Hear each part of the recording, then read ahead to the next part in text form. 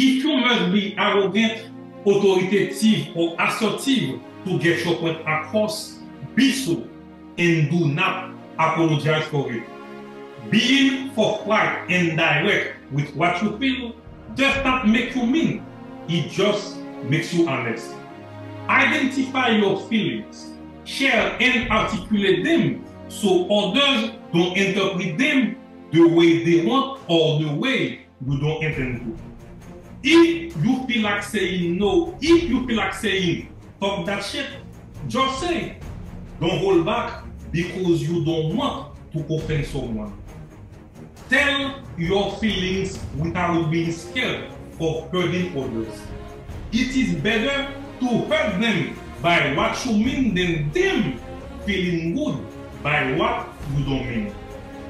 When your lack of bluntness leads others to feel those feel good moments, you create dependency, you create reliance, and when you finally go from balls to break those habits, others will call you liars, they will call you mean, they will call you tough, they will call you inconsiderate.